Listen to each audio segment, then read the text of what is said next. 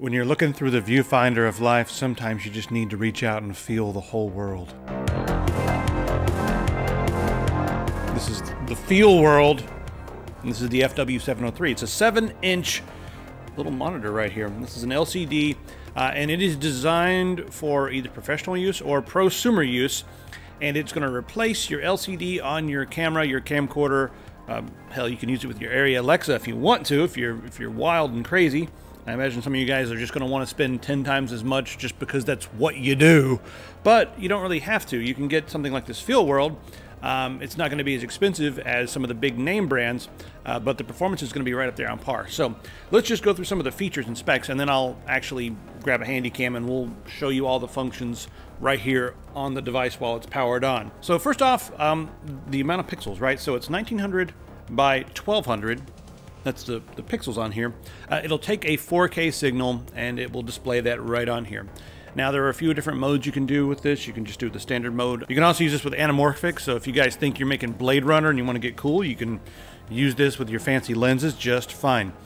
You also have an input and output for SDI and HDMI and uh, you can use this as a pass-through so if you wanted to you know if you're running this in a studio you can have one of these on the camera and then you can run that over to a larger monitor or a capture rig or something like that on the side.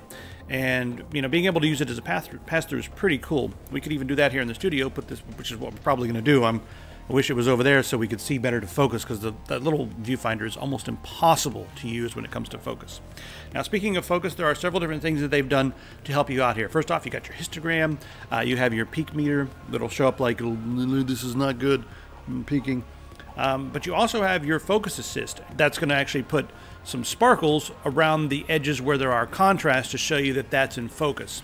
Uh, and having a big screen like this plus the focus assist will make it more foolproof when you're trying to make sure everything's crystal clear.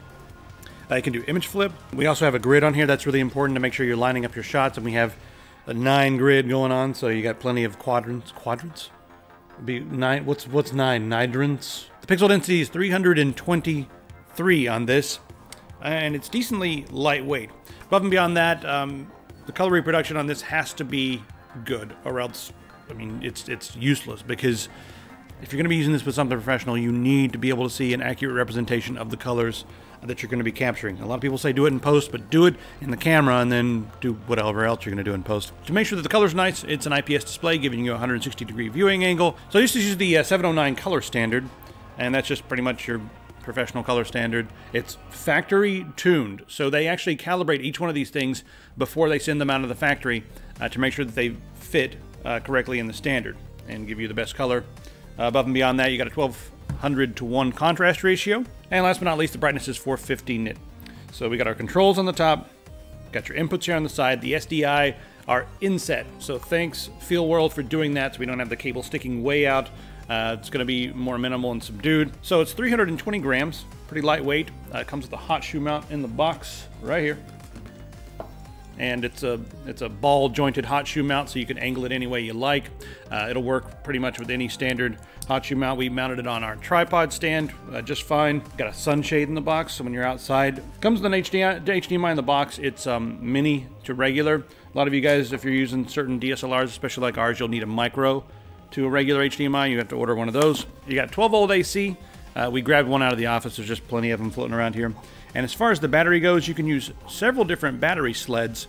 Um, and you know it, it, it, can use adapters and that sort of thing. It's compatible with the very standard F970 battery, and we've got these on all of our cameras. Just, just, these things are all over the place. It's got the two little holes in the bottom, and you just pop it on. Compatible with multiple different types of batteries, and the actual lifespan uh, is going to be dependent upon the size of your battery or you can always carry around that 12 volt AC adapter. Wear a battery belt if you want to, plug it into this thing. One thing that's weird is no matter what battery we plug into this, it always says 40% when it starts. Is that 40% of the 100? Or is that 100% of the 40? That's that. Let's go ahead and uh, take a look at this thing in action. All right, under menu, as you go through here, you can see you can adjust the brightness and the saturation, all that sort of thing uh, to your heart's content. And you can even go down and adjust the color bands. Go down and change this around a little bit. 4 by 3 16 by 9 Got some zooms if you guys want to zoom in and take a look at it. Um, panorama, auto. Should leave it on auto though. Now we can do a USB firmware upgrade, which is nice. Turn the backlighting up or down. Okay. Cool. Green screen, check it out. Set it up for green screen, set it up for red screen, blue screen, white screen, jeez. Nice. No signal from blue screen. That That's really handy to be able to do right here. Huh. Why didn't they tell me they could? I didn't know we could do this. And then just check out some of our options here. There's our 9 grid. I guess I'll turn on the 9 grid. Overexposure, let's turn that on so we can see what's overexposed. Uh, you can set your exposure level. Turn our 9 grid on. There we go, there's our 9 grid. Oh, it's a grid. Whoa, I've got it set up. this is not the right aspect ratio. Is it? Or is it? Maybe it is. Mm. I don't know. There we go, that's better. It was pulling all the way up to, you've got the black bars unless you're doing, because it's 16 by 10. So we got the black bars there for 16 by 9.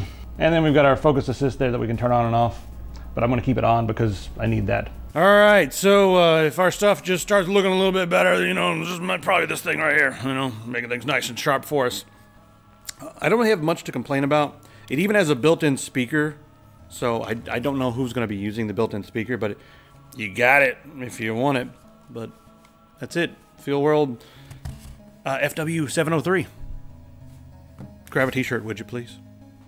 I'm trying to think of something negative about this. It just does what it's supposed to do. I feel like it's kind of a one-sided uh, overview of this thing, but it's really helping us. So there you have it. See you guys on the website, epicpants.com, and we'll see you guys on the forum.